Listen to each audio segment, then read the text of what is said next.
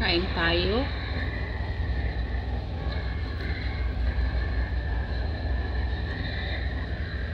Kawawa naman ang mahirap. Hmm. Hmm.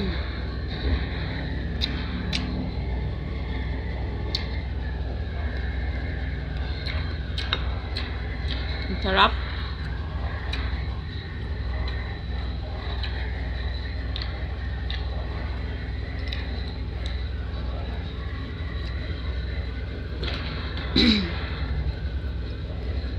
Kuha ang stress.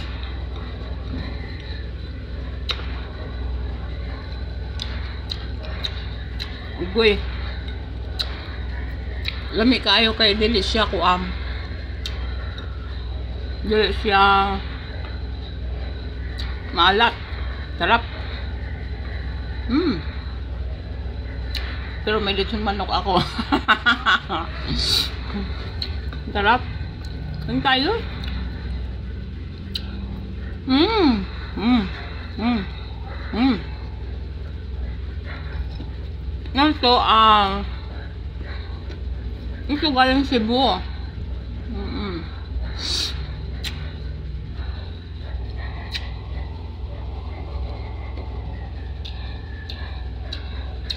Kami ah. Yan.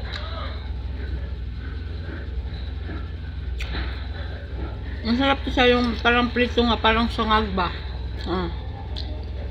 Ano siya, crunchy. Mmm. Crunchy. Sarap. Pagkain ng mahirap to.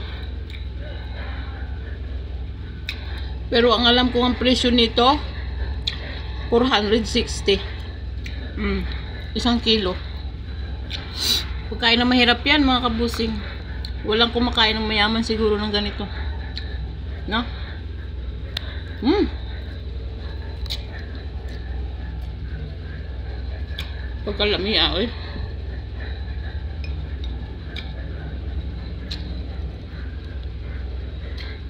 Dahil ko pang naglilihi. Sarap.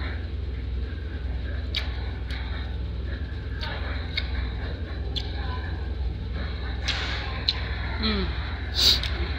Suka ko. Nilagyan ko ng ang bawang, buyas, kamatis, no? Ayan. Sibuyas dahon. Ayan. Pang bukid style ba? Sus, matumpag gud akong bahaw. Ayan.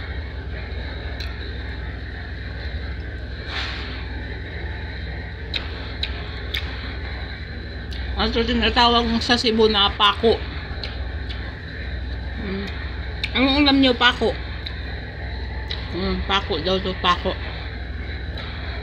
Sa Bisaya palansang. Ulam na ulam ko lansang. Tag 460 ang isang kilo. Pag mahirap lang talaga mga kabusing. Ang sarap. Mmm. Mmm. Mmm. Mmm. Yummy ah.